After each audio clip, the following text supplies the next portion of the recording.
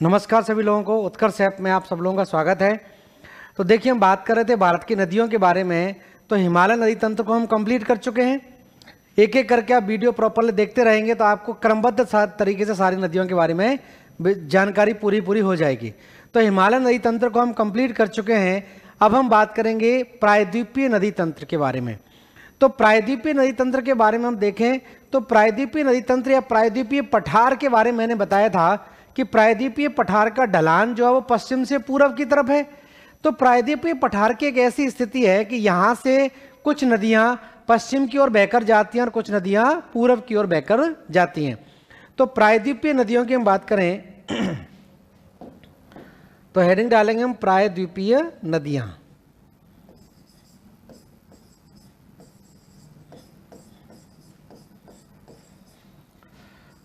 प्रायद्वीपीय नदियाँ। ठीक है? अब प्रायद्वीपीय नदियों के बारे में देखिए हम बात करें तो प्रायद्वीपीय पठार की आकृति भूआकृति ऐसी है कि यहाँ से पश्चिम की ओर और, पूर्व की ओर मतलब अरब सागर में और बंगाल की खाड़ी में दोनों तरफ़ नदियाँ प्रवाहित होती हैं। ठीक है? तो प्रायद्वीपीय नदियाँ तो ध्यान रखना पहली चीज़ तो प्राचीनतम नदियाँ हैं। ठीक है? चौड़ी और कम गहरी घाटियों का निर्माण ये करती हैं। चौरी और उथली घाटियों का निर्माण करती हैं। तो इसमें दो चीज़ यहाँ पर ध्यान रखें। प्रायद्वीप नदियों में पहली तो प्राचीन, प्राचीनतम नदियाँ हैं। जैसे हिमालय की नदियाँ कैसी हैं? यंग अवस्था वाली कहलाती हैं। प्रौढ़ावस्था प्रौढ़ावस्था में है, ठीक है? और अगली चीज़ ध्यान रखना चौड़ी तथा कम गहरी। घाटियों का निर्माण करते हैं। घाटियों का निर्माण। तो ये विशेषताएँ ध्यान रखा प्रायद्वीपीय नदियों के बारे में। अब प्रायद्वीपीय नदियों को हम दो भागों में बांट देते हैं। इनके अपवाह क्षेत्र के आधार पर। एक लिख लें, पश्चिम की ओर बहने वाली नदियाँ। पश्चिम की ओर बहने वाली नदियाँ।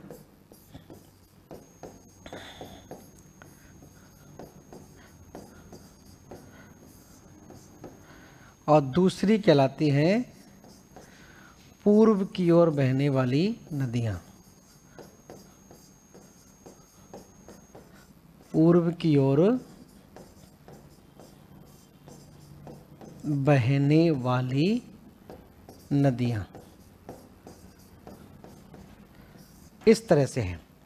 तो दो कैटेगरी में इनको विभाजित कर लेते हैं, पश्चिम की ओर और पूर्व की ओर बहने वाली नदियाँ। अगर हम बात करें पश्चिम की ओर बहने वाली नदियों की तो पश्चिम की ओर बहने वाली नदियाँ अगर बहकर जाएँगी तो कहाँ पर गिरेगी? अरब सागर में। तो ये अरब सागर में गिरती हैं।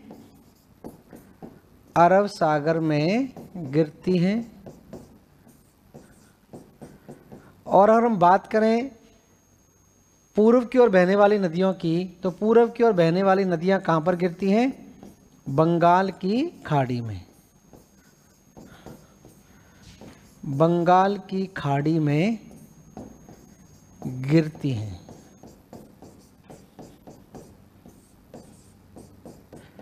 और बंगाल की खाड़ी की तरफ़ जो नदियाँ बहकर जाती हैं, वो डेल्टा का निर्माण करती हैं, जबकि अरब सागर की तरफ़ जो नदियाँ गिरती हैं, ये सारी की सारी नदियाँ क्या करती हैं? यहाँ पर लिख लेना, एस्चुरी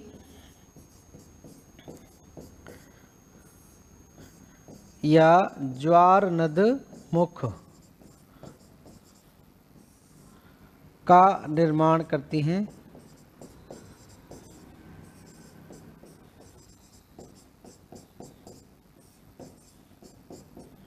ठीक है? अगर नदियाँ, जैसे मैंने पहले बताया था, नदियाँ पर्वतीय और पठारी क्षेत्र से बहते हुए सागर में गिरती है तो दोनों तरफ़ पर्वत श्रृंखलाएँ होने के कारण दोनों तरफ़ चट्टाने होने के कारण नदी सीधा का सीधा समुद्र में गिर जाती है। जबकि नदियाँ मैदानी भागों से होकर जाती हैं तो मैदानी भागों में नदी को चारों तरफ़ फैलने का मौका मिल जाता है। तो मैदानी भागों में नदियाँ क्या हैं?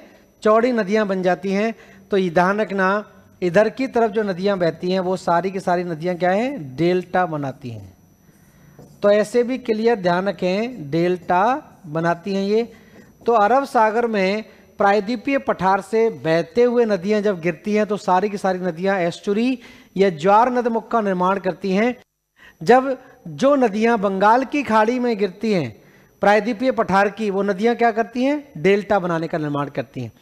तो विशेषकर ये दो पॉइंट आप ध्यान रखें कथनों के आधार पर प्रश्न आपके पूछे जाते हैं।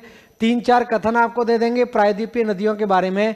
जैसे पहला कथन दे दिया, प्रायद्वीपीय नदियाँ अपनी प्रौढ़ावस्था में हैं और ये कम गहरी कम गहरी और चौड़ी घाटियों का निर्माण करती हैं। दूसरा कथन आपको दे देंगे, प्रायद्वीपीय नदियाँ प्राचीनतम नदियाँ कहलाती हैं। तीसरा कथन दे देंगे, प्रायद्वीपीय नदियाँ, डेल्टा और एस्चुरी दोनों नदियाँ, दोनों प्रकार का डेल्टा और एस्चुरी दोनों बनाती हैं। तो इस तरह से ध्यान रखें, प्रायद्वीपीय नदियाँ दोनों तरह की आकृति बनाती हैं, डेल्टा भी बनाती हैं और एस्चुरी भी बनाती हैं। जबकि हिमालय से जो नदियाँ निकल रही थी वो सारी की सारी नदियाँ क्या कर रही थी? केवल डेल्टा का निर्माण कर रही थी। क्योंकि भारी मात्रा में अवसादों को वो मुहाने पर जमा करती है और मैदानी भागों से होते हुए वो समुद्र में मिलती हैं। जबकि पश्चिमी भाग में क्या है? पठार हैं पूरे के पूरे। तो चट्टानों के पठारी क्षेत्र से होते हुए नदियाँ सागर में मिलती हैं। इसके कारण यहाँ पर ये एस्चुरी का निर्माण करती हैं। मतलब इधर भी पर्वत है, इधर भी पर्वत है और नदी जो है इसके बीच में से होते हुए सीधा कहाँ मिल जाती है? समुद्र में। तो सारे के सारे अवसादों को ये समुद्र में जमा कर देती है। जबकि यहाँ मैदानी भागों से नदी बहती हुई जाती है तो ये अवसाद क्या कर देती है? इस भाग में जमा कर देती है। तो ये डेल्टा का निर्माण हो जाता है और यहाँ पर क्या बन जाता है? ऐश्वरी बनती है। ठीक है? तो ये ध्यान रखें। अब हम बात करेंगे एक एक करके। तो पहले हम बात करें पूर्व की ओर बहने वाली नदियों की। तो पूर्व की ओर बहने वाली नदियों को हम ले लेते हैं। एक डायग्राम के थ्रू हेडिंग डाल लें आप लोग, पूर्व की ओर बहने वाली नदियाँ। तो इतने भाग से हमको मतलब है यहाँ पर, इतना लेके चलते हैं।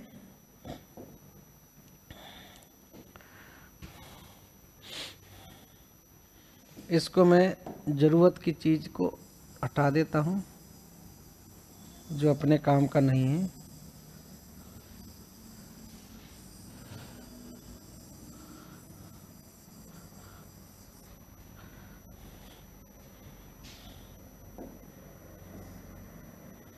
तो हेडिंग डाल लेता हूँ मैं पूर्व की ओर बहने वाली नदियाँ।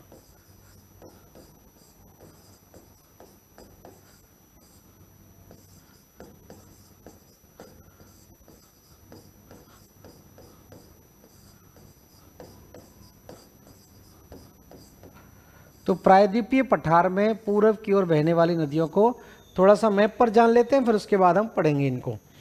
तो देखिए, यहाँ तक आपको पता है कि यहाँ से गंगा नदी बहते हुए आ रही थी और गंगा नदी यहाँ पर जाकर मिल जाती है और इधर से ब्रह्मपुत्र नदी, ऐसी स्थितियाँ पहले जान चुके हैं। यहीं से एक नदी और निकलती है और वो नदी यहाँ पर जाकर मिलती है। इस तरह से यही गंगा की वितरिका भी कहलाती है। गंगा की एक वितरिका है तो ये नदी यहाँ पर जाकर मिल जाती है इस तरह से। और इस नदी के अंदर, जिसको हम हुगली नदी बोलते हैं हुगली नदी में छोटा नागपुर पठार से एक नदी निकल कर आती है और वो हुगली नदी में जाकर मिलती है। जिसको हम बोलते हैं दामोदर नदी। दामोदर नदी के जस्ट नीचे एक और नदी आकर मिलती है। इसको हम बोलते हैं स्वर्ण रेखा नदी। स्वर्ण रेखा नदी के नीचे एक और नदी है, जिसको हम बोलते हैं वैतरणी नदी। और वैतरणी नदी के नीचे एक और नदी है, इसको हम बोलते हैं ब्राह्मणी नदी। तो छोटी छोटी नदियाँ हैं। उसके बाद चिल्का झील के उत्तर में इधर की तरफ़ से एक बड़ी नदी बहते हुए जाती है और यहाँ पर जाकर डेल्टा बनाती है। इस तरह से ये नदियाँ भी छोटा छोटा डेल्टा बनाती हैं क्योंकि मैदानी भाग है ये तो इस तरह की स्थिति दिखाई देती है कि ब्राह्मणी नदी यहाँ पर। तो नदियों के मैं यहाँ नाम लिख देता हूँ। पहली चीज़ तो आप ध्यान रखें, ये नदी है, इसको हम बोल रहे हैं हुगली नदी। कौन सी नदी है ये? हुगली नदी।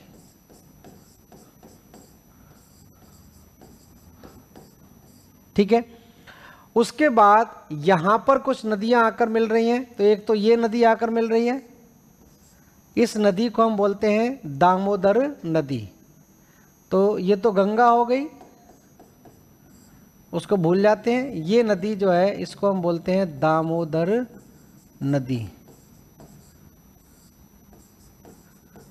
दामोदर नदी है, ठीक है? दामोदर नदी के बाद यहाँ पर एक नदी आकर मिल रही है। इस नदी को हम बोलते हैं स्वर्ण रेखा नदी। स्वर्ण रेखा नदी। स्वर्ण रेखा नदी के नीचे एक और नदी है, इसको हम बोलते हैं, इसको लिख लेना, वैतरणी नदी। वैतरणी नदी। वैतरणी नदी के बाद एक और नदी है, इसको हम बोलते हैं ब्राह्मणी नदी। ब्राह्मणी नदी। तो ये प्रमुख नदियाँ आप देख रहे हैं, उत्तर से दक्षिण में चार बड़ी नदियाँ, छोटी नदियाँ हैं। तीन नदियाँ छोटा नागपुर पठार से निकलती हैं। एक तो आपकी दामोदर हो गई स्वर्ण रेखा हो गई ब्राह्मणी और वैतरणी नदी यहाँ पर उड़ीसा के तट पर आपकी छोटी सी नदी है जो क्योंझर ज़िले से निकलती है और उड़ीसा के तट पर जाकर बंगाल की खाड़ी में मिल जाती है। तो ये तीन बड़ी नदियों के बारे में बात हमने कर ली। यहाँ पर जो छोटा नागपुर पठार से निकलती है स्वर्ण ऊपर की तरफ़ है दामोदर स्वर्ण रेखा उसके नीचे ब्राह्मणी और बैतरणी और स्वर्ण रेखा और ब्राह्मणी के बीच में छोटी सी नदी है वैतरणी नदी। अब यहाँ पर एक और नदी जो बह रही है, ये रेड कलर से जो दिखाई मैंने, इसको हम बोलते हैं, ये कहलाती है महानदी। तो यहाँ पर जो नदी आप देख रहे हैं, इसका नाम है महानदी। ठीक है? महानदी चिल्का झील के ऊपर डेल्टा बनाती है, इसके नीचे आप देख रहे हैं, ये झील है, इसका नाम है चिल्का झील। ठीक है? ये झील है चिल्का।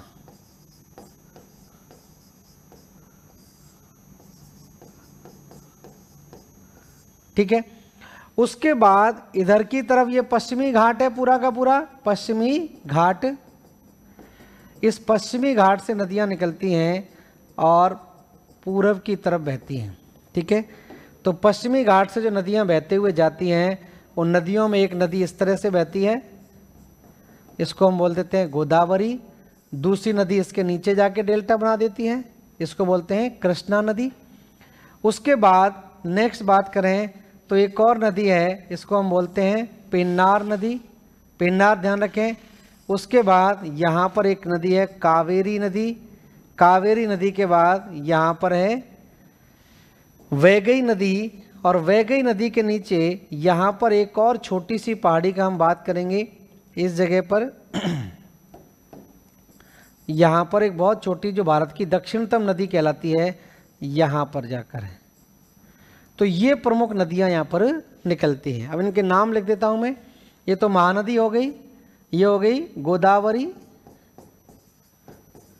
गोदावरी, उसके बाद कृष्णा कृष्णा नदी कृष्णा नदी के बाद पेन्नार नदी पेन्नार नदी के बाद कावेरी नदी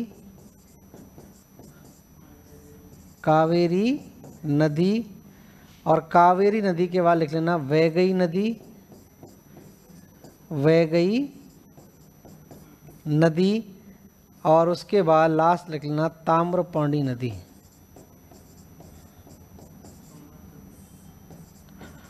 ताम्रपर्णी नदी। तो ये नदियाँ आप देख रहे हैं पूरब की ओर बहकर जाती हैं।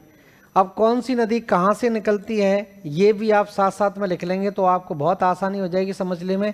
ये तीनों नदियाँ जो आप देख रहे हैं, ये तीनों नदियाँ कहाँ से निकलती हैं? ये तीनों नदियाँ निकलती हैं छोटा नागपुर पठार से। छोटा नागपुर पठार से निकलती हैं सीएनपी उसके बाद यहाँ पर एक पठार पड़ता है, इसको हम बोलते हैं दंडकारण्य पठार। दंडकारण्य पठार। तो छत्तीसगढ़ में दंडकारण्य पठार से निकलती है महानदी।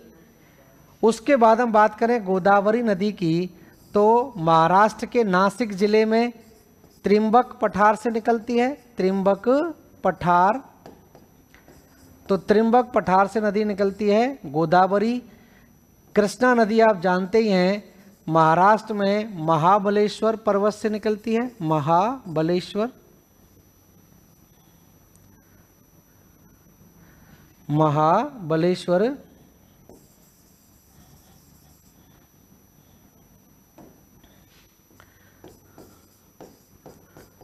महाबलेश्वर से निकलती है कृष्णा नदी।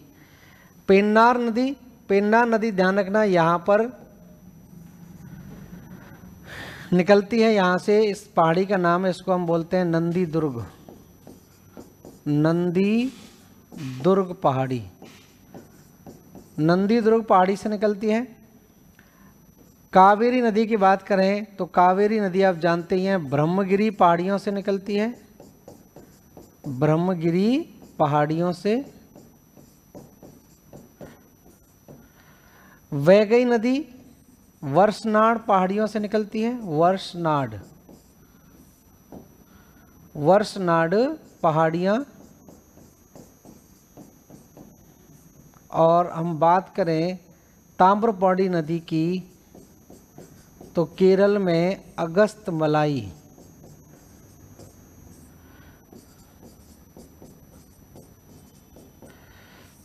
अगस्त मलाई पहाड़ियों से निकलती है। तो ये हैं, आप ध्यान रखें, पूर्व की ओर बहने वाली नदियाँ। तो पूर्व की ओर बहने वाली नदियों को ध्यान रखें इस तरह से है। त्रिंबक पठार से निकलती है। तो पूर्व की ओर बहने वाली नदियाँ आप देख पा रहे होंगे डायग्राम के थ्रू ठीक है? पूरी की पूरी नदियाँ, इधर से कुछ नदियाँ हैं।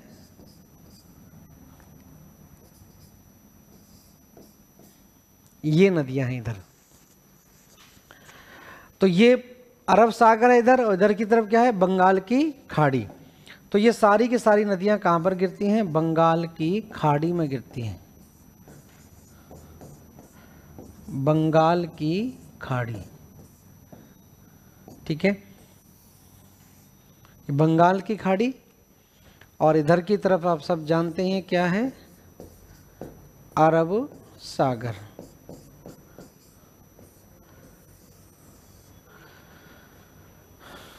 ठीक है? अब एक एक करके हम नदियों के बारे में बात करेंगे। तो सबसे पहले हम बात करेंगे इन नदियों की, फिर हम बाकी नदियों पर आते हैं बाद में। तो देखिए, यहाँ पर सिंपल सा एक पॉइंट डालें पहले। छोटा नागपुर पठार से निकलने वाली नदियाँ। तो पहला पॉइंट डालें, निकलें। छोटा नागपुर पठार से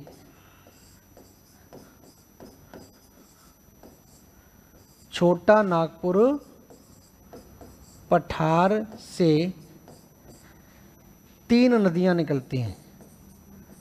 तीन नदियाँ निकलती हैं।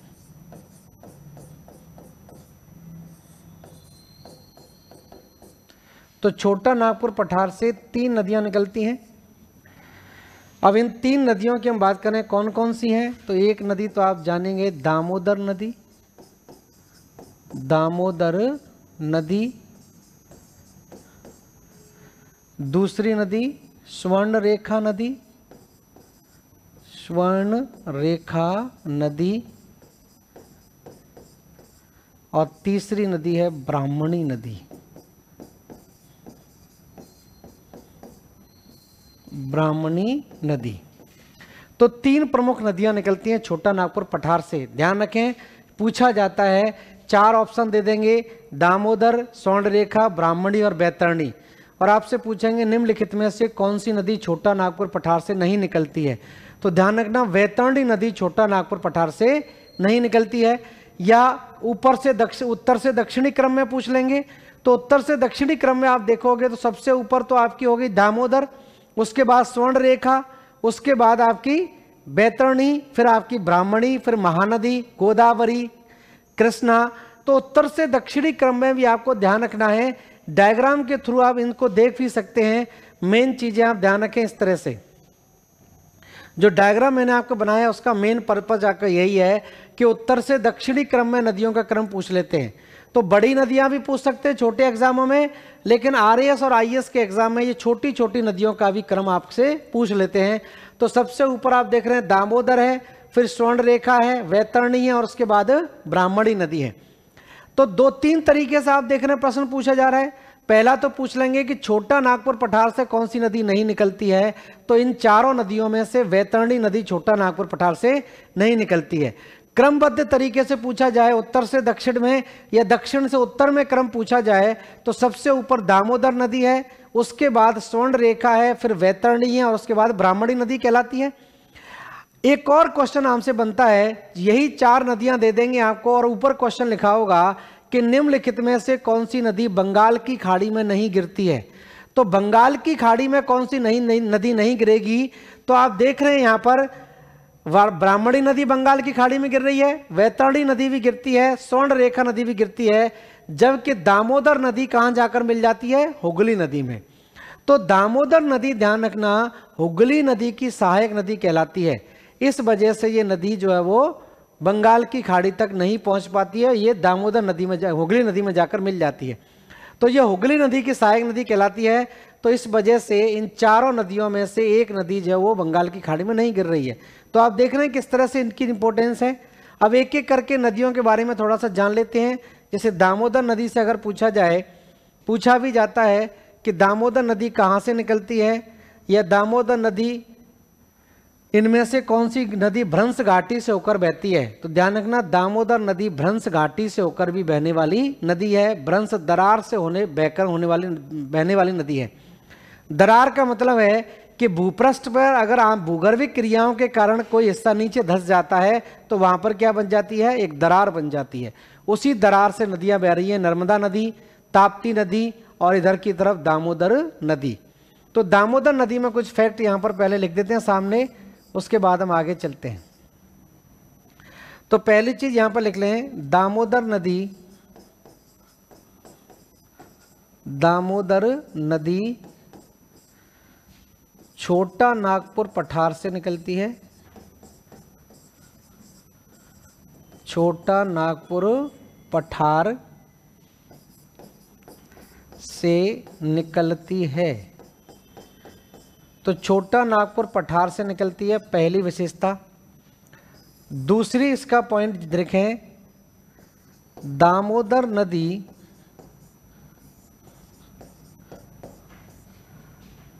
एक भ्रंश घाटी से होकर बहती है। भ्रंश घाटी। भ्रंश घाटी से बहती है। तो व्रंश घाटी या रिफ्ट वैली तो रिफ्ट वैली से होकर बहने वाली नदी है। ठीक है? अब दामोदर नदी घाटी को आपको पता ही है, बिटुमिनस कोयले के भंडार हैं तो भारत की रूहर घाटी भी इसको कहा जाता है। तो नेक्स्ट पॉइंट लिख लें। दामोदर नदी घाटी को, दामोदर नदी घाटी को भारत की रूहुर घाटी भारत की रूहुर घाटी से सीधा मतलब है रूहुर घाटी का मतलब क्या है? जर्मनी। और जर्मनी के अंदर जो रूहुर घाटी है, वो बिटुमिनस कोयले के लिए जानी जाती है। तो रूहुर घाटी भारत की रूहुर घाटी भी कहते हैं। तो जर्मनी के अंदर विश्व में सबसे ज़्यादा प्रसिद्ध रूहुर घाटी बिटुमिनस कोयले के भंडार के लिए जानी जाती है। और भारत में दामोदर नदी तो इस वजह से इसको बोलते हैं भारत की रूर गाती तो बिटोमिनस कोयला यहाँ पर पाया जाता है इस क्षेत्र में। इसी वजह से इस्पात उद्योग ज़्यादातर इसी क्षेत्र में लगाए गए चाहे वो दुर्गापुर हो, बोकारो हो, भिलाई हो, टाटा का हो, टिस्को जिसको बोलते हैं, ठीक है, जमशेदपुर। तो ये सारे के सारे स्टील प्लांटों को लगाए जाने का मेन कारण क्या है कि ऊर्जा का स्रोत यहाँ पर है और जल के स्रोत के लिए नदियाँ यहाँ पर है ही। तो ये बिटोमिनस कोयले के भंडार के लिए जानी जाती है दामोदर नदी। तो दामोदर नदी घाटी को ध्यान रखना, भारत की रूर घाटी भी कहा जाता है। ठीक है नेक्स्ट पॉइंट लिख लेते हैं आगे। दामोदर नदी घाटी परियोजना या दामोदर घाटी परियोजना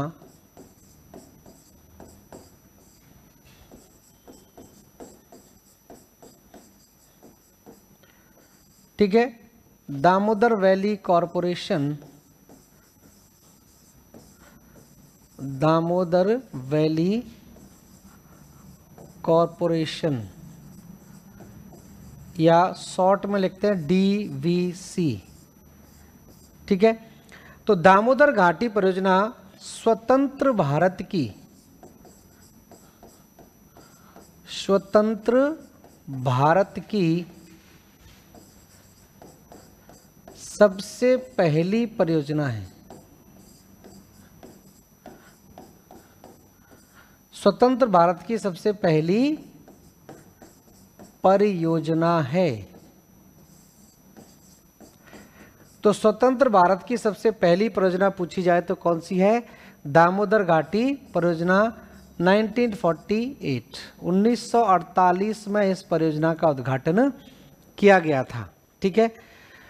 और जब इस परियोजना का उद्घाटन नेहरू जी के द्वारा किया गया था तो एक और प्रश्न बनता है यहाँ पर। यह भी एग्ज़ाम में पूछा जा चुका है कि भारत की नदी घाटियों को आधुनिक भारत का मंदिर, मस्जिद और गुरुद्वारा कहा जाता है। ये किसके द्वारा कहा गया?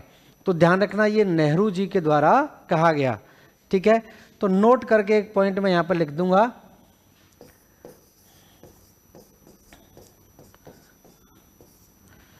नेहरू जी द्वारा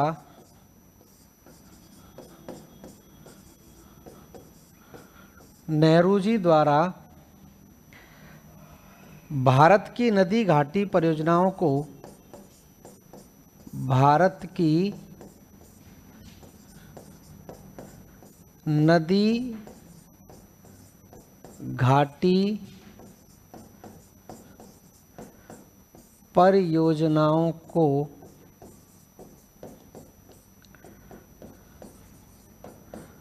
नदी घाटी परियोजनाओं को आधुनिक भारत का आधुनिक भारत का मंदिर मस्जिद तथा गुरुद्वारा। कहा गया। ठीक है? तो जब इस परियोजना का उद्घाटन करने के लिए नेहरू जी गए तो उन्होंने इस शब्द का इस्तेमाल किया कि हमारी जो नदी घाटी परियोजना है, वो आधुनिक भारत के मंदिर, मस्जिद और गुरुद्वारे की तरह है। तो इस वजह से ये प्रश्न भी आपका पूछा जाता है। तो ध्यान रखें, ये एग्ज़ाम में इस तरह से भी स्टेटमेंट पूछ सकते हैं। नेक्स्ट नेक्स्ट देखें आगे। तो दामोदर नदी ठीक है अब दामोदर नदी की वजह से पहले भारी मात्रा में बाढ़ आती थी बंगाल के अंदर। तो दामोदर नदी को बंगाल का शोक भी कहते थे, थे। लेकिन अब इस नदी पर 1980 48 के बाद 1948 के बाद इतने सारे बाँध इस पर बना दिए गए हैं कि बाढ़ आने की कोई संभावना यहाँ पर नहीं है। तो इसी वजह से इसको अब आधुनिक इसको बंगाल का शोक नहीं कहा जाता है ठीक है? तो एक पॉइंट और लिख लें यहाँ पर दामोदर नदी दामोदर नदी, हुगली नदी की सहायक नदी है। हुगली नदी की सहायक नदी है। तो हुगली नदी की सहायक नदी कहलाती है दामोदर नदी, जबकि जबकि हुगली नदी जबकि हुगली नदी गंगा नदी की, हुगली नदी गंगा नदी की एक वितरिका है। वितरिका, डिस्ट्रीब्यूटरी डिस्ट्रीब्यूटरी। ठीक है? वितरिका समझ गए? जो मुख्य नदी से अलग हो जाती है और जो मुख्य नदी में आकर मिलती है, वो सहायक नदी कहलाती है और जो मुख्य नदी से अलग हो जाती है, वो डिस्ट्रीब्यूटरी कहलाती है। तो ध्यान रखना, गंगा में ऐसे भी कर सकते हैं। चार ऑप्शन आपको दे दें। राम गंगा दे दें, सोन दे दें और आपकी मान लीजिए कोसी नदी दे दें और हुगली नदी। और आपसे पूछें निम्नलिखित में से गंगा की सहायक नदी कौन सी नहीं है? ठीक है? तो ध्यान रखना, हुगली नदी गंगा की सहायक नदी नहीं है, हुगली नदी गंगा की क्या है? वितरिका है डिस्ट्रीब्यूटरी है। ध्यान रखें इस चीज़ को। ठीक है? अब नेक्स्ट देख लेते हैं अगला। गंगा की एक वितरिका है, ठीक है? जबकि हुगली नदी गंगा की एक वितरिका है डिस्ट्रीब्यूटरी कहलाती है। अगला पॉइंट लिख लें। दामोदर नदी को, दामोदर नदी को बंगाल का शोक, बंगाल का शोक कहा जाता था। कहा जाता था। तो इसको बंगाल का शोक कहा जाता था, लेकिन अब नहीं कहते हैं। पहले इसको बंगाल के शोक के नाम से जाना जाता था, क्योंकि ये बाढ़ लेकर आती थी बंगला, बंगाल के अंदर। लेकिन अब इससे बाढ़ नहीं आती है, क्योंकि इस पर बहुत सारे बाँध बन गए किस तरह से देखिए स्थिति इसकी तो उस तरह से हम इसको जान लेते हैं। जैसे ये मान लीजिए,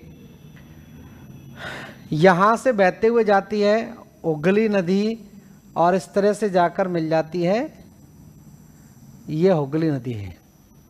ठीक है? और हुगली नदी में इसकी एक सहायक नदी आकर मिलती है, जो पूछा जाता है कि निम्नलिखित में से कौन सी दामोदर नदी सॉरी दामोदर नदी की सहायक नदी है? ये दामोदर नदी है, गलती से हुगली नदी बोल दिया। दामोदर नदी, और दामोदर नदी आपको पता ही है किसमें जाकर मिल जाती है? यहाँ से एक नदी बहकर आ रही है, इस नदी का नाम है हुगली नदी। ये हुगली नदी।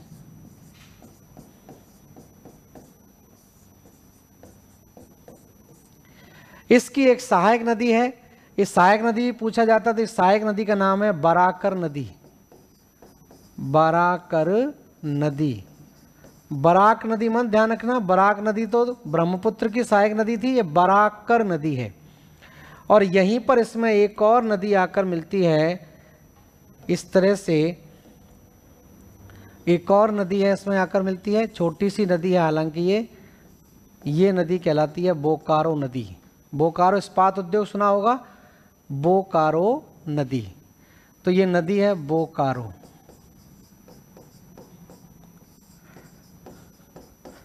और ये पूरी की पूरी नदी है दामोदर नदी। ये है दामोदर नदी। यहाँ लिख देता हूँ, दामोदर नदी। अब दामोदर नदी पर देखिए सीरीज़ ऑफ़ डैम बना दिए गए। सीरीज़ ऑफ़ डैम में क्या स्थिति बनती है? एक तो बोकारो नदी पर ही बाँध बना दिया। बोकारो बाँध। बोकारो बाँध बन गया यहाँ पर। इस तरह से। उसके बाद इधर से जाएँ दामोदर नदी पर तो यहाँ पर बाँध बन गया। झारखंड के अंदर यहाँ पर बाँध बना दिया, जिसको हम बोलते हैं कोनार बाँध। कोनार बाँध। उसके बाद एक और बाँध बना दिया। इसको बोलते हैं अय्यर बाँध। अय्यर बाँध कहलाएगा ये। उसके बाद एक और बाँध बना दिया यहाँ पर। पंचेत बाँध। पंचेत बाँध। तो इस तरह से इस पर तीन तीन बाँध बन गए और बोकारो बन गया इधर। इधर की तरफ़ यहाँ पर एक बाँध बना दिया इसको बोलते हैं बाल पहाड़ी। बाल पहाड़ी बाँध। बाल पहाड़ी बाँध बन गया। ठीक है? बाल पहाड़ी बाँध के बाद थोड़ा सा हम आगे की तरफ़ और जाते हैं तो यहाँ पर एक और बाँध बन जाता है, इसको बोलते हैं मैथन बाँध। मैथान बाँध। और बचा कुचा पानी जो आगे जाता है पश्चिमी बंगाल में, यहाँ पर एक और बैराज बना दिया। इसको बोलते हैं दुर्गापुर बैराज। दुर्गापुर बैराज कहलाता है। और दुर्गापुर बैराज बनाए जाने का मेन पर्पज क्या है कि यहाँ पर स्थित है दुर्गापुर इस्पात उद्योग। दुर्गापुर स्टील प्लांट है। ठीक है? पश्चिम बंगाल में यहाँ पर बोकारो है तो यहीं पर बोकारो इस्पात उद्योग है। बोकारो इस्पात उद्योग।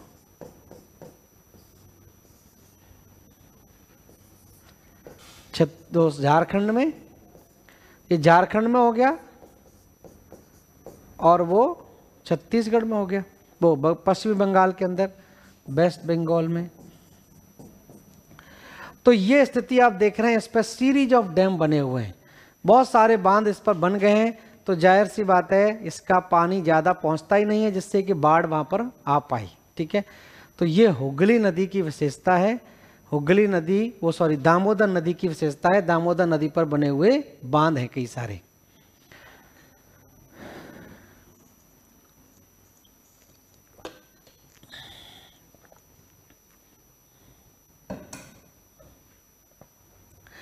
अब देखिए और नदी ले लेते हैं। अब इसके बाद में एक और नदी आपकी है, जिसको हम बात बात कर रहे थे, स्वर्ण रेखा। तो ध्यान रखना, दामोदर और स्वर्ण रेखा नदी दोनों इतनी ज़्यादा प्रदूषित हो चुकी हैं कि इनको जैविक मरुस्थल का दर्जा दिया गया है। ठीक है, बायोटिक डेजर्ट इनको दर्जा दिया गया है। तो अगली नदी की हम बात करें, इसको बोलते हैं स्वर्ण रेखा नदी। स्वर्ण रेखा नदी। ठीक है? तो स्वर्ण रेखा नदी भी झारखंड में छोटा नागपुर पठार से निकलती है। तो पहली पॉइंट तो उसका यही लिख ले। स्वर्ण रेखा नदी छोटा नागपुर छोटा नागपुर पठार से निकलती है।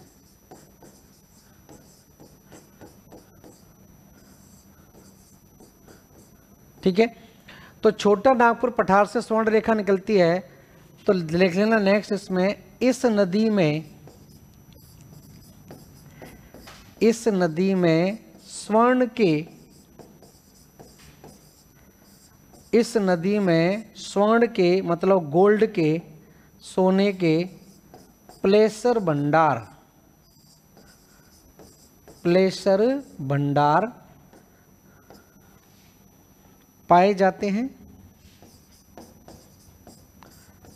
पाए जाते हैं। इसलिए इसलिए इसका नाम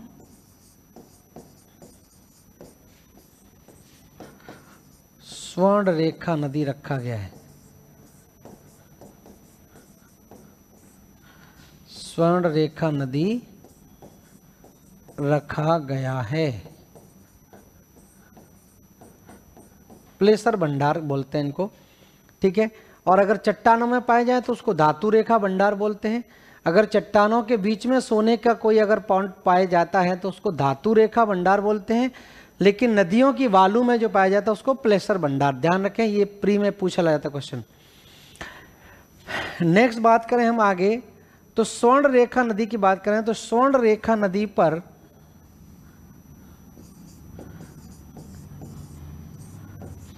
स्वर्ण रेखा नदी पर झारखंड में स्वर्ण रेखा नदी पर झारखंड में हुंडरू जलप्रपात स्थित है। हुंडरू जलप्रपात। तो हुंडरू जलप्रपात ध्यान रखना कौन सी नदी पर है? स्वर्ण रेखा नदी पर। हुंडरू जलप्रपात स्थित है। कहाँ पर है? झारखंड में। ठीक। नेक्स्ट पॉइंट लिखे, आगे एक और इंपॉर्टेंट पॉइंट है, इससे संबंधित। अब स्वर्ण रेखा नदी झारखंड में और झारखंड में ही आप देखेंगे जमशेदपुर इस्पात उद्योग आपने सुना होगा? जमशेदपुर तो जमशेदपुर स्टील प्लांट ध्यान रखना, स्वर्ण रेखा नदी के किनारे स्थित है, ठीक है? या जिसको बोलते हैं टिस्को। तो लिख लेना, जमशेदपुर भारत का सबसे बड़ा स्टील प्लांट है ये।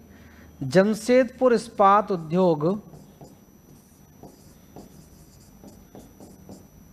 जमशेदपुर इस्पात उद्योग या Tata iron and steel company, TISCO. Jharkhand में झारखंड में स्वर्ण रेखा, झारखंड में स्वर्ण रेखा नदी के तट पर स्थित है।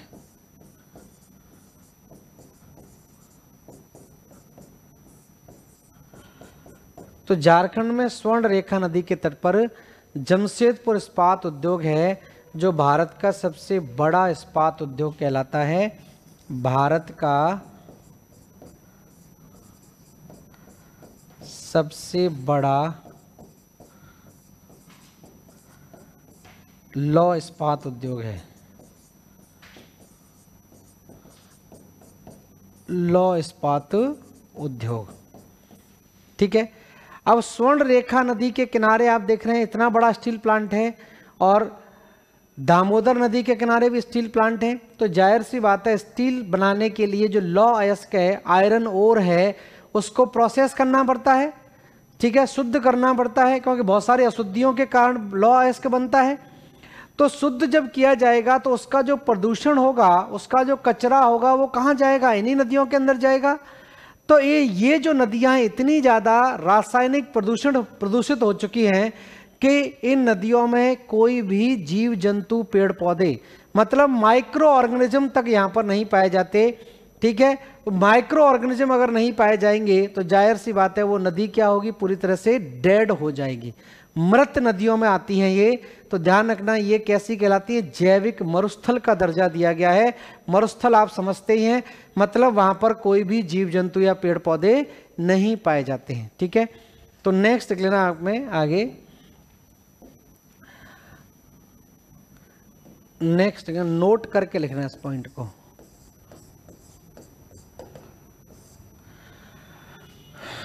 दामोदर नदी तथा स्वर्ण रेखा नदी, दामोदर नदी तथा स्वर्ण रेखा नदी अत्यंत रासायनिक रासायनिक प्रदूषण के कारण रासायनिक प्रदूषण के कारण अत्यंत रासायनिक प्रदूषण के कारण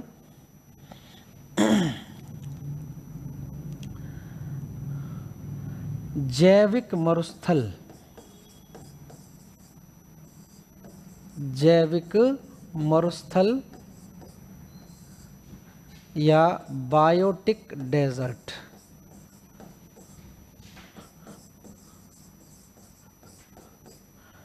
कहलाते हैं।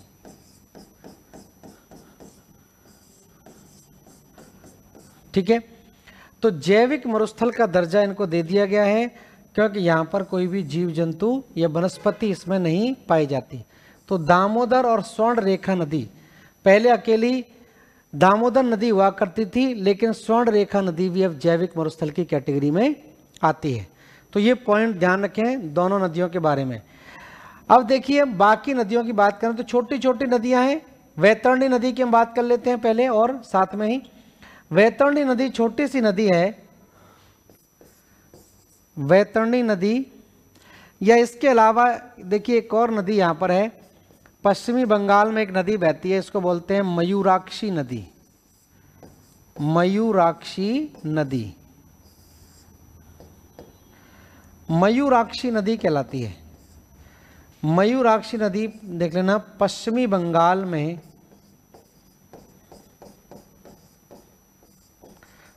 पश्चिमी बंगाल में मयूर बाँध स्थित है। इस बाँध का नाम क्या है? मयूर बाँध। तो ये इंपॉर्टेंट नहीं है कि इस पर मयूर बाँध है। मयूराक्षी नदी, मयूर बाँध आप याद रख सकते हैं आसानी से। तो मयूराक्षी नदी पर पश्चिमी बंगाल में मयूर बाँध स्थित है। अब इस बाँध को जब यहाँ पर लगाया गया तो इस बाँध को कनाडा सरकार के द्वारा पैसा दिया गया। ठीक है, इसी वजह से ध्यान रखना, मयूर बाँध को कनाडा बाँध, मयूर बाँध को कनाडा बाँध भी कहते हैं। ठीक है तो कनाडा बाँध के नाम से भी जाना जाता है, क्योंकि कनाडा सरकार के द्वारा इस बाँध का पैसा फंड किया गया है। ठीक है? तो इसी वजह से आपसे सीधा पूछा जाएगा कि कनाडा बाँध कहाँ पर स्थित है, और आप कनाडा ढूंढेंगे, वहाँ पर उत्तरी अमेरिका में जाकर, लेकिन कनाडा बाँध कहाँ पर है? पश्चिमी बंगाल में मयूराक्षी नदी पर।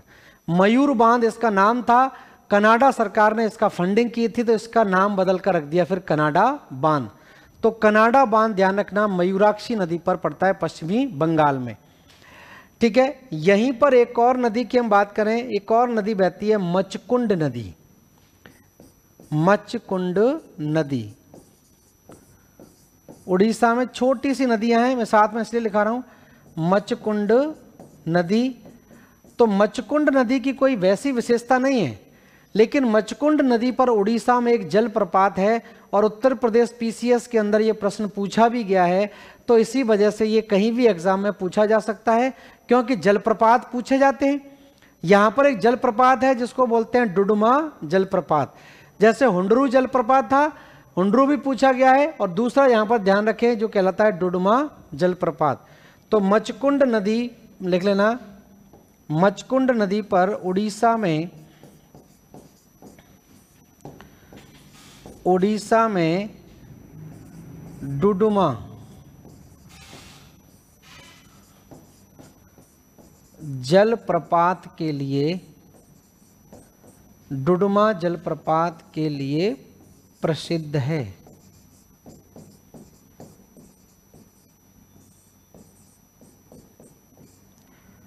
तो डुडुमा जलप्रपात के लिए जानी जाती है, ध्यान रखना कौन सी नदी? मचकुंड नदी। तो मचकुंड नदी उड़ीसा में डुडुमा जलप्रपात इंपॉर्टेंट है, ध्यान रखें। तो ये तो मचकुंड नदी की बात हो गई। अब यहीं पर एक छोटी सी नदी और उड़ीसा में बह रही थी, जिसका नाम है वैतरणी नदी। वैतरणी नदी। ठीक है? अब वैतरणी नदी उड़ीसा के क्योंझर ज़िले से निकलती है और उड़ीसा के तट पर ही बंगाल की खाड़ी में मिल जाती है। ठीक है? छोटा नागपुर पठार से नहीं निकलती है तो लिख लेना यहाँ पर। उड़ीसा के क्योंझर, उड़ीसा के क्योंझर ज़िले से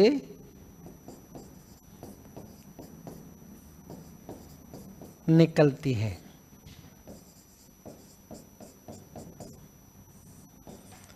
उड़ीसा के क्योंझर ज़िले से निकलती है।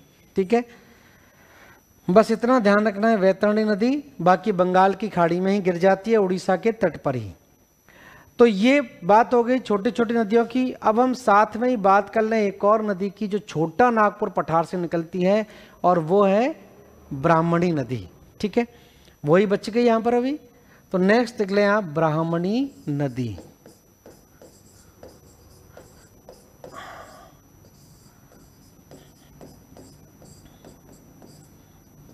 ठीक है? ब्राह्मणी नदी की उत्पत्ति आप जान रहे हैं कहाँ से हो रही है? छोटा नागपुर पठार से निकलती है। छोटा नागपुर पठार। छोटा नागपुर पठार से निकलती है।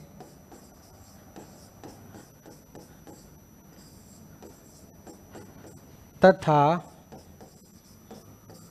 उड़ीसा के तट पर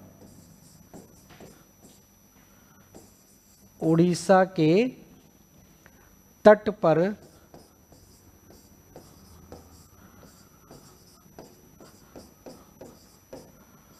बंगाल की खाड़ी में गिरती है।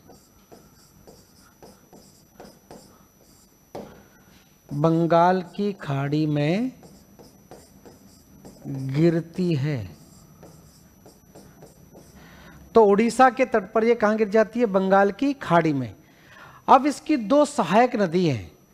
एक कहलाती है उत्तरी कोयल और एक कहलाती है शंख उत्तरी कोयल और शंख नदियाँ जहाँ पर मिलती हैं, वहीं पर एक और इस्पात उद्योग है उड़ीसा के अंदर, जिसको बोलते हैं राउर केला इस्पात उद्योग। तो ध्यान रखना, ब्राह्मणी नदी की स्थिति ऐसी है कि ब्राह्मणी नदी में इस तरह से दो नदियाँ इस तरह से आकर मिलती हैं और उसके बाद ये उड़ीसा के तट पर यहाँ पर, ठीक है? निकल रही झारखंड से और उसके बाद उड़ीसा। तो एक तो कहलाती है, इसको हम बोलते हैं उत्तरी कोयल। उत्तरी कोयल। और दूसरी कहलाती है शंख शंख नदी। ठीक है? और यहीं पर इन दोनों नदियों के मिलन स्तर पर यहाँ पर, इस जगह पर है राउर केला इस्पात उद्योग।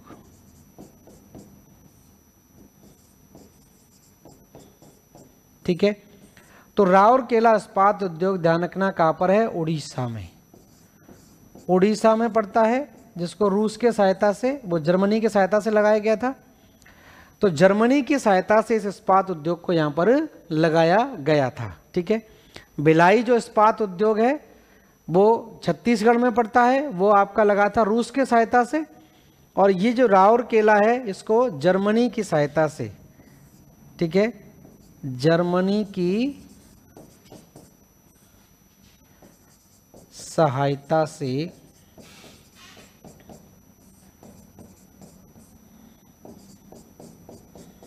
लगाया गया। तो जर्मनी की सहायता से इसको लगाया गया है। तो ये ध्यान रखें, इस तरह से ये प्रश्न जो अब आपके पूछे जाते हैं। तीनों को मैं आपको थोड़ा सा बता दूँ, पूछा जाता है एग्ज़ाम में, क्योंकि क्षेत्र में इस्पात उद्योग है और इस्पात उद्योग क्यों है? क्योंकि यहाँ पर एक तो लॉ एस्क मिल जाता है, दूसरा कोयले के भंडार हैं, ऊर्जा भी है और नदियों का पानी भी मिल जाता है तो जल संसाधन भी है, ऊर्जा संसाधन भी है और खनिज संसाधन भी है। तीनों संसाधन एक ही स्थान पर मिलने के कारण इस भाग में आप देखोगे, भारी मात्रा में इस्पात उद्योगों को स्थापित किया गया है और यही पूरा का पूरा क्षेत्र आप देखेंगे जनजातीय क्षेत्र है और जनजातियों को निरंतर विस्थापित करने के कारण ये नक्सली प्रभावित क्षेत्र भी है। तो पूरा का पूरा रीजन नक्सलाइट भी कहलाता है, नक्सली प्रभावित भी कहलाता है क्योंकि जनजातियाँ बाद में उग्र होकर वो नक्सलियों का रूप ले लिए। तो इस तरह से, ठीक है? तो यहाँ पर देखिए, इस्पात उद्योगों को ध्यान रखें। तीन प्रमुख इस्पात उद्योग हैं। एक तो कहलाता है राउर केला राउर केला राउर केला इस्पात उद्योग,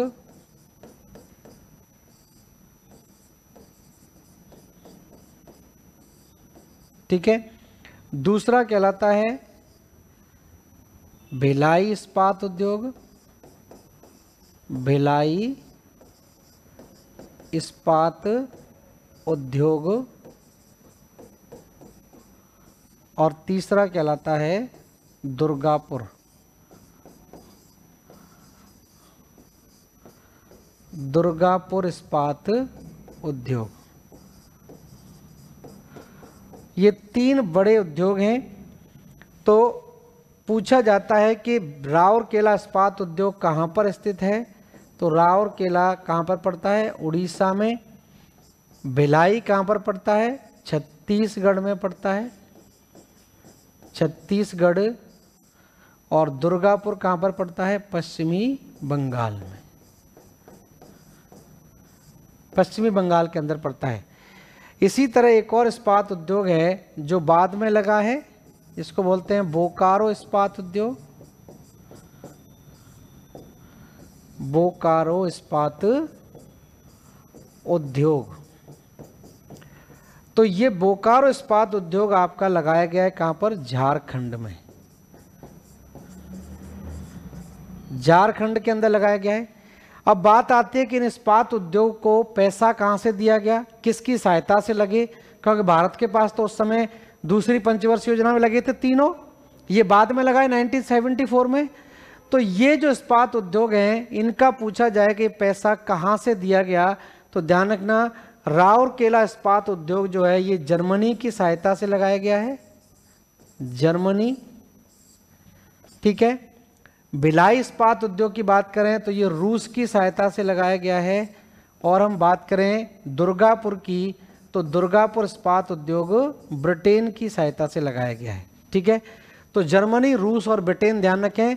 राउरकेला जर्मनी, भिलाई रूस और दुर्गापुर, ब्रिटेन और बोकारो इस्पात उद्योग भी झारखंड के अंदर जो लगा है वो रूस की सहायता से ही लगाया गया है। तो इस तरह से इस्पात उद्योगों को साथ साथ में ध्यान रख लें। क्योंकि ये पूछ ले जाते हैं, दुर्गापुर दामोदर नदी के किनारे है, ठीक है? राउरकेला आपने जान लिया, ब्राह्मणी नदी के किनारे है, बोकारो बोकारो नदी के किनारे है तो इस तरह से ध्यान रखें, ये इस्पात उद्योगों से भी प्रश्न आपके बन जाते हैं, ठीक है? अब इसके बाद, ये तो छोटी छोटी नदियाँ हो गई, जिसके बारे में बात कर रहे थे। तो यहाँ से आपने विशेष तौर पर जान लिया नदियों के बारे में, इस मैप के द्वारा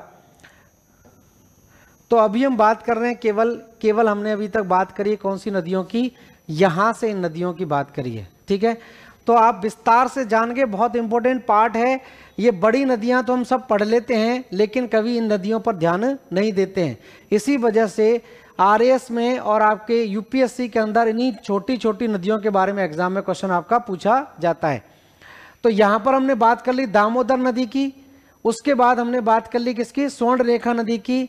फिर बात कर ली वैतरणी नदी की, और वैतरणी नदी के साथ में ही दो छोटी और नदियाँ बहती हैं, मयूराक्षी नदी और उसके साथ में एक और नदी, मचकुंड नदी, ठीक है? उड़ीसा के अंदर है और एक पश्चिमी बंगाल के अंदर बहती है। तो यहाँ पर ये छोटी छोटी नदियाँ उत्तर से दक्षिणी क्रम में लगाने के लिए तीन नदियों की उत्पत्ति मैंने बता दी कहाँ से हो रही है? छोटा नागपुर पठार सीएनपी और उसके बाद एक नदी है, वैतरणी नदी। वो उड़ीसा में क्योंझर ज़िले से निकलती है और बंगाल की खाड़ी में जाकर ये गिर जाती है। उसके बाद हम बात करेंगे एक एक करके बड़ी नदियों की। तो पहले बात होगी यहाँ पर किसकी? दंडकारण्य पठार की। दंडकारण्य पठार के बाद गोदावरी, कृष्णा, कावेरी, इन नदियों की बात करेंगे। अब यहाँ पर आप देख रहे हैं चिल्का झील दिखाई दे रही है। तो ये भी पूछा जाता है कि चिल्का झील के उत्तर में कौन सी नदी डेल्टा बनाती है और दक्षिण में कौन सी नदी? तो चिल्का झील के उत्तर में आप देखेंगे कौन सी नदी है? महानदी। और चिल्का झील के दक्षिण में कौन सी नदी है? गोदावरी नदी। तो ये मेन नदियाँ प्रायद्वीपीय पठार की प्रमुख नदियों के रूप में जानी जाती है। तो एक एक करके हम बात करेंगे। नेक्स्ट क्लास में। तब तक के लिए धन्यवाद सभी लोगों को। Thank you